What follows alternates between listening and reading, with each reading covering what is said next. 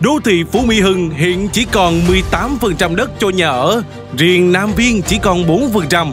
Tỷ lệ nghịch với nguồn cung hạn chế là diện mạo dịch vụ đô thị vươn tầm cao mới.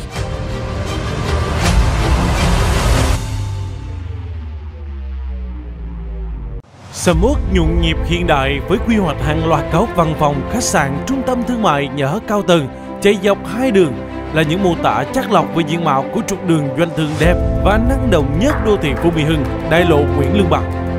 Mỗi dự án được phát triển dọc theo trục đại lộ Nguyễn Lương Bằng đều là một hợp phần tạo điểm nhấn ấn tượng cho đại lộ huyết mạch bằng phong cách kiến trúc đầy cả tỉnh. Không chỉ là bán đảo nghỉ dưỡng, Nam Viên còn là lựa chọn chiến lược cho nhiều kế hoạch khuếch trương thương hiệu.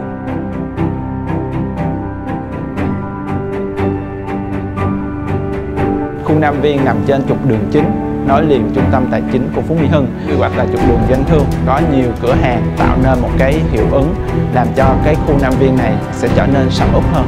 Nam Viên sẽ là một vị trí đắc địa cho tất cả các hoạt động kinh doanh của tập đoàn Kobe. Sự đa dạng về cư dân cũng như là nhu cầu mua sắm uh, chất lượng cao cái tiêu chí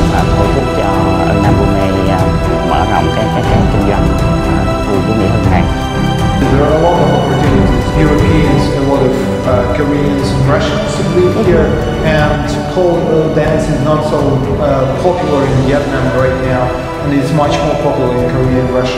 So we decided to open our own studio. Maybe open some more studios in this area. Um, the other thing that we, we like about Fumi Hung is that um, there's a culture of care here where neighbors are caring for each other, where students are, are learning to care for each other. Children are uh, able to work with others, play with others, and they're learning their social skills as they go. They're learning good ways to interact with their environment.